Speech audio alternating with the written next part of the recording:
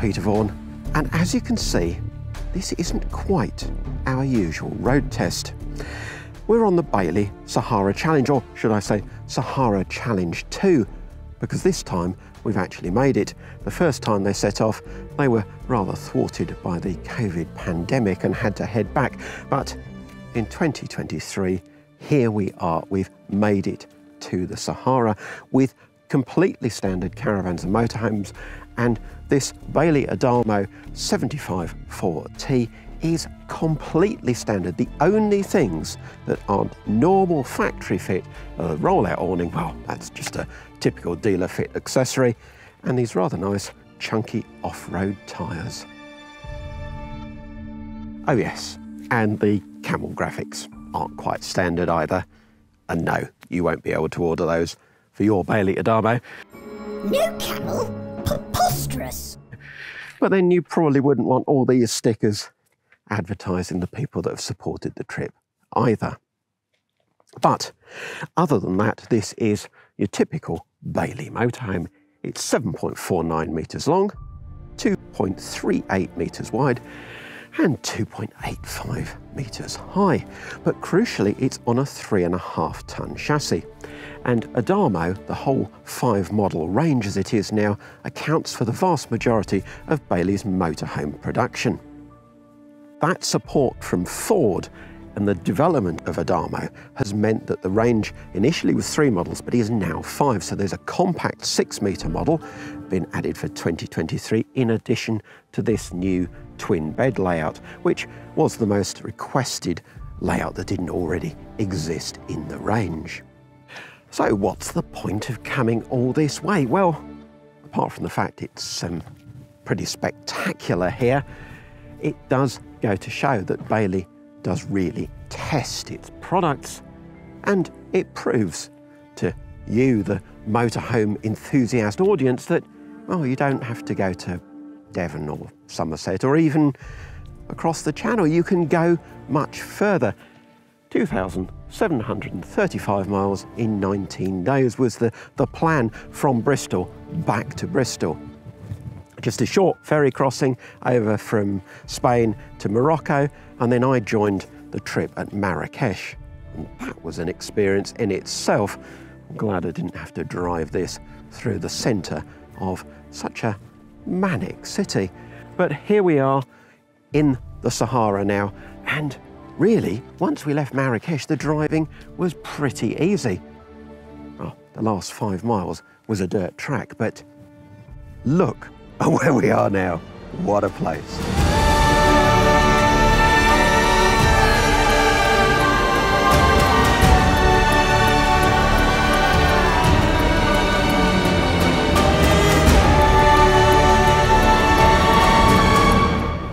So enough about Morocco and the Sahara for a moment because I need to tell you about this motorhome, which, like every Bailey motorhome, has Alu-Tech construction. So structural aluminium extrusion framework, all GRP on the outside and a GRP skin on the inside too.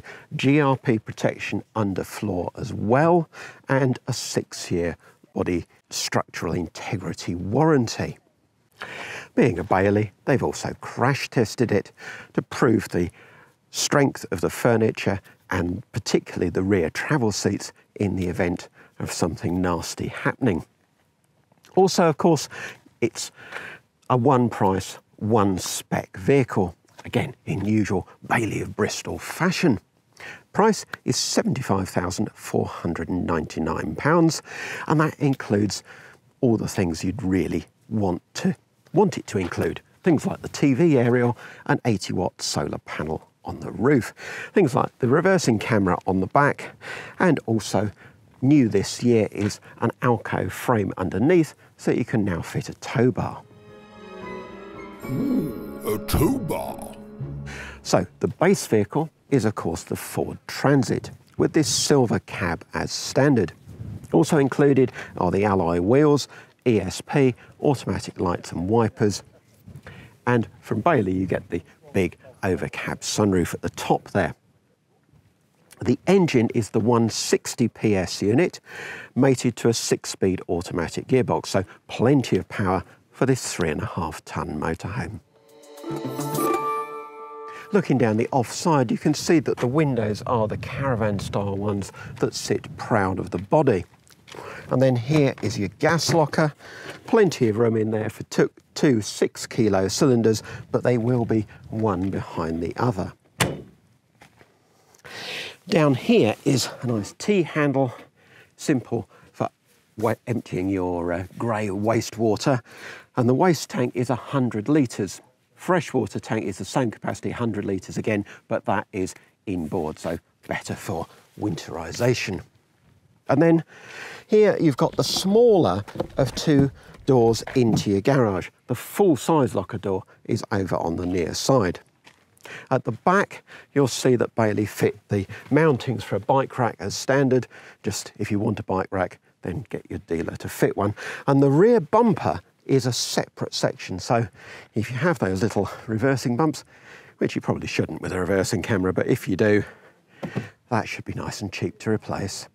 So looking down the near side, of course, you've got this much, much larger door into the garage here. And headroom in there is just over a metre, 1.03 metres. And actually, the width at this side is also 1.03 metres, although it does narrow towards the offside where that smaller door is. You've got tie down points in there, a nice big light just inside the door here, and even internal access into the garage. A couple of little hooks here though, not quite sure what you'd hang on them, but hey. Then moving down the side, of course you've got your cassette toilet servicing hatch. Now your habitation door, that's not linked to the central locking, but it is a nice Hartal door with a deep window, a bin, and somewhere for your brolly. Hmm. Nah, don't think I need a brolly today. And then finally, you've got your mains hookup point. And I should say too that it's a nice low entrance into the vehicle. And of course, there's a fly screen on the door. So that's the outside. And before I turn to a crisp, I think we'll move on inside. But the other thing I should mention is payload. So this is a three and a half ton motorhome and it's quite a large motorhome at virtually seven and a half metres. So payload is something you need to consider, especially if you're going to travel four up. It's only 344 kilos. Did you know you can drive it on a car licence? The first thing you notice when you walk into this Adamo is the spaciousness of the front lounge. And that's because of this huge headroom, 2.14 metres or seven foot. Now there is a slight step up into the cab, but the front seats swivel round easily enough and the passenger one goes round easily to put your feet up on the sofa. Settees are longer on the offside than on the near side. And then you've got these armrest and scatter cushions, two different sizes of scatter cushions. In fact, you've got so many cushions, you might choose to see, leave some of them behind. Um, anyway, that's a, a personal choice. Table is a good size, even in its folded position. And then there's just one handle to operate to slide it around and then you can unfold it for family meals or, well, it's almost sort of banquet size now, isn't it? Yeah, plenty of room there to get four people around the table or more. You've got reading lights over the cab seats, spotlights, uh, downlighters under the top lockers in the lounge, but no reading lights, no directional reading lights in the over the settees course, you've got lots and lots of daylight coming in from the big overcab sunroof too. There's more lighting over the top lockers too, so a nice atmosphere in the evening. Blinds, fly screens as well, of course, essential here in the desert. Um, the blinds are the posher pleated type with these padded surrounds. The offside sofa is the longer one, as I said, but even here it's not really a feet up sofa, although you might manage if you turn the other way and put your feet up just towards the cab seats. Other than that, well, this isn't a huge lounge, but it somehow manages to feel bigger than it really is. And then, if you want to watch telly, well, the TV bracket is high up over by the door. A bit too high up, really, but it does mean that you've got useful space there for coat hooks. And in our weather at home, that might be more useful. Now, this is a four berth motorhome, so side settees are no good when you're on the road, but this is a flexi lounge, as Bailey calls it. So, I have to say, like a number of the Bailey's rivals, but it's still quite clever nonetheless. And the best bit about the Bailey travel seats is that they have crash tested them. Under here, you've got your agouti backrest. You get Isofix now as standard as well. Little flap goes round so that you've got room for your feet. So two, two of the four sofa cushions are used.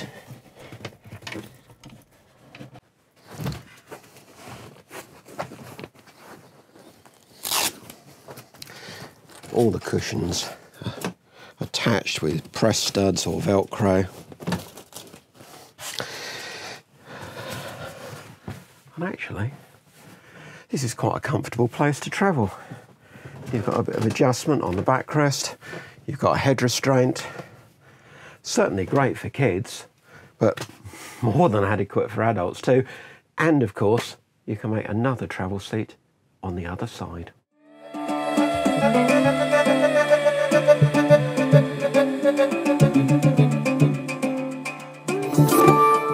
The table lowers electrically as well to get it more out of the way when you're travelling. And of course, you've got three point belts on both seats, a bit more legroom this side as well. And just look at the steel frame underneath. That gives you reassurance if you're carrying your kids or your grandkids. Yes, like so many of these arrangements that convert from side sofas to travel seats, you do end up with some cushions left over. But with a rear bedroom to pile them in, that's not really much of an issue. With the table lowered, of course, you can make the lounge into a double bed. And it's a really long one, seven foot three and a half or 2.22 meters long by uh, 1.2 meters, three foot 11 or so wide, and then narrowing down to 98 centimetres, three foot three at this end. I'm actually the wrong way round, but uh, you'd have your heads that end where it was a bit wider. If you're thinking, why doesn't Bailey offer a drop down bed instead? Well, if they did, the extra weight wouldn't make this practical as a three and a half ton motorhome anymore. So, as an occasional bed or bed for the grandchildren, this is what you get.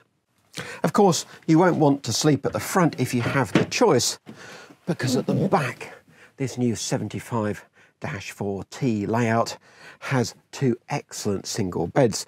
They're really comfortable mattresses. And look at this for once. Oh, joy.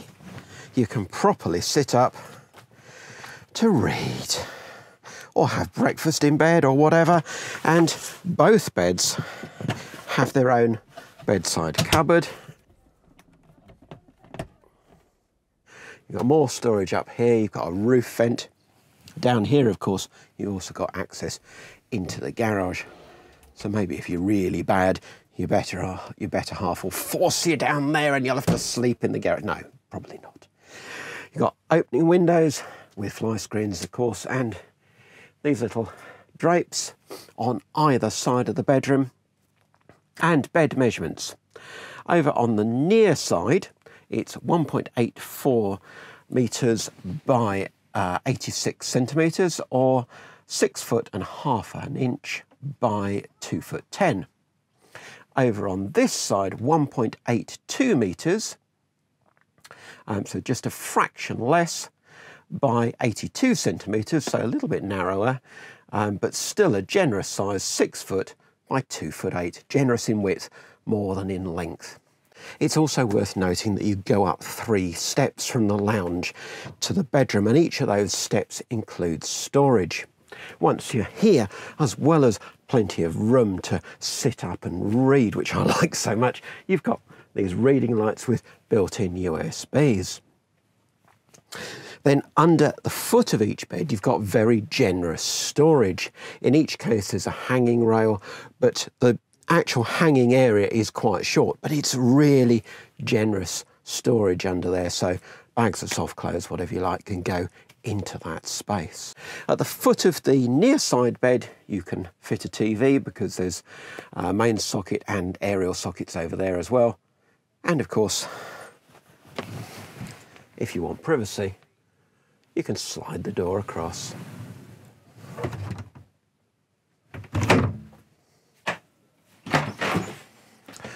Not only have you got this sliding door to shut off the bedroom, but of course the toilet door closes off the whole back end of the motorhome and gives you an ensuite to that great rear bedroom. On the off side, you've got your shower cubicle, and then on the near side, your toilet area. Unusually, the toilet door even has a lock on it. And in this area, you've got a nice square basin, good size, and you can get your head right over it. Little shelf area alongside, so practical space for your toiletries. A large mirror that hides your storage, but it could do with some fiddle rails or elasticated straps or something because things are going to fall out of there once you've been on the road and moving the vehicle around. The toilet is mounted high, but because you've got a little um, plinth in front of it, that doesn't seem to matter so much. You've got an opening window for ventilation as well, and pull cord lighting. Very nice. On the other side of the van, like so many layouts of this type, because it just works, you've got the shower. You've got this black shower tower, the shower head on a riser bar, good pressure from that and a good spread of jet. But nowhere to put any gels, shampoos, all that sort of stuff, apart from on the floor. And the floor, although it does have two drain holes, which is great, it's also got quite a substantial step in it. If you've got big feet, you really will need to try this for size. You haven't got a shower curtain, you've got these bifold doors.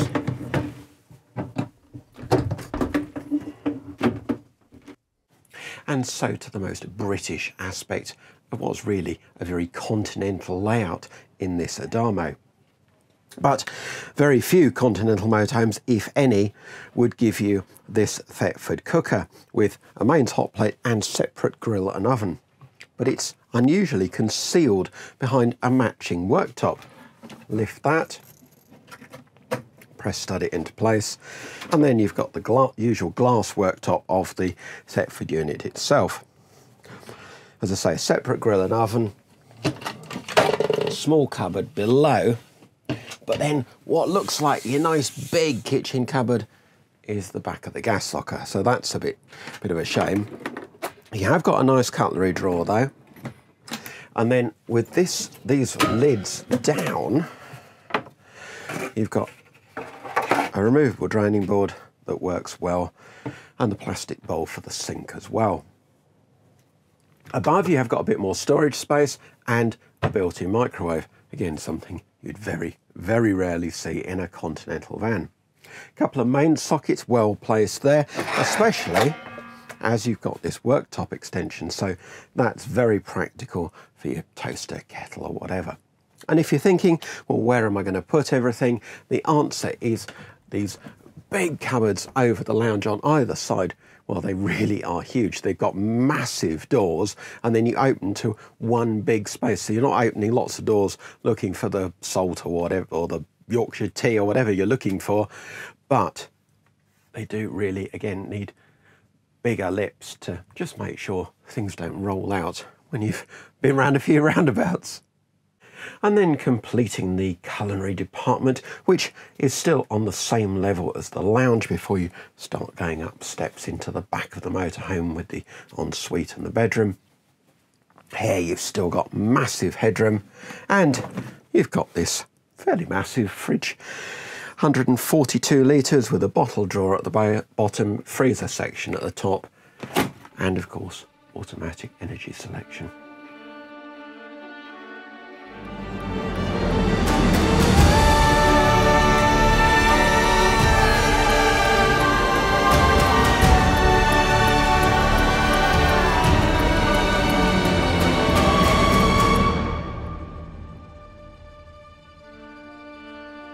So we're heading down the Dades Gorge um, towards the end of our amazing trip in Morocco. Um, camping in the middle of the Sahara with just dunes all around was spectacular.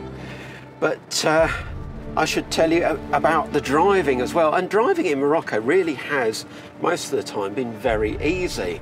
Um, most of the road surfaces are good.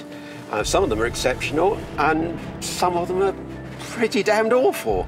Um, this has been the driving highlight, um, and on inclines like, like this, when we came up here earlier, the 160 horse uh, Ford engine copes really, really well. You've got plenty of grunt, and the automatic box is just excellent. On some of the longer downhill uh, inclines, it's quite nice to just pull it back and drop into manual and then you can hold the van back on the gears if you want to to give the brakes a little bit uh, of a rest. Handling for quite quite a big van, seven and a half meters, um, and considering we've got quite a lot of weight in the garage and we are, you know, fully loaded for for camping, um, is is pretty good, and the ride quality is excellent, even on some of the poor surfaces. Um, yes, you know, at times you can feel it's quite a big van, but uh, generally it's, you know, you've got the reversing camera built in here, um, you've got the twin lens mirrors, so manoeuvring is, is no issue at all. And it's, it's been a, a pleasure to drive um, the Ford. And an absolute thrill to spend time in Morocco. It's, and they called it the Bailey Sahara Challenge, but actually, it hasn't been that much of a challenge. As long as you remember that you need cash everywhere.